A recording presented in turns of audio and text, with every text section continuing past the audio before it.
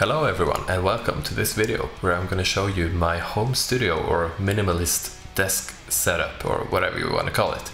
But first a short message. This video is brought to you by guitartricks.com. Get 2 weeks free access using the link in the description below.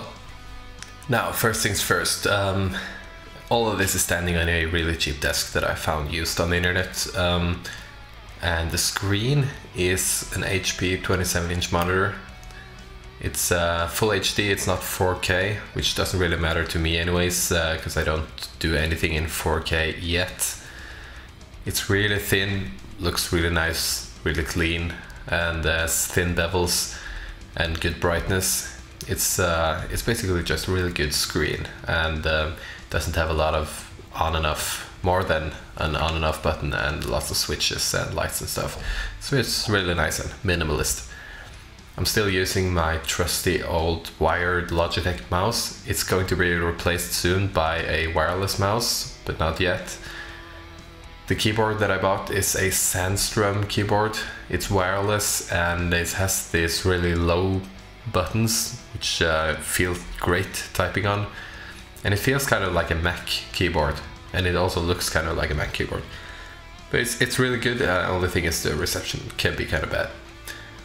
Speakers that I use at the moment are just cheap, really cheap, creative uh, speakers. I don't have studio monitors at the moment. I'm gonna purchase that later. I had to sell mine a few years ago, but I mostly mix on headphones anyway.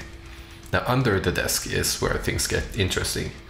I made this kind of a rack, mini rack under the desk, which I just uh, screwed in place and it holds my Axe-FX and my um, Focusrite Scarlett 2i2 interface. I have also mounted my camera battery charger under here and you can see the two Dragon's Heart guitar picks laying around, which are the greatest picks ever. And as I said, I'm still using my trusty old Axe-FX standard, which I think is probably like eight years old now. Um, still does the job. I'm still just using a couple of tones that I made with it and it sounds great. I uh, built a new PC now this PC has a Fractal Design uh, 304 case and it has an i7 6700K processor.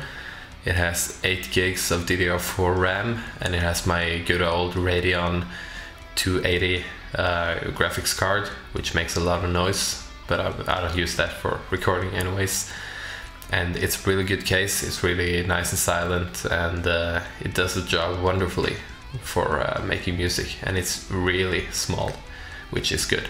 So that's about it for the overview of this desk.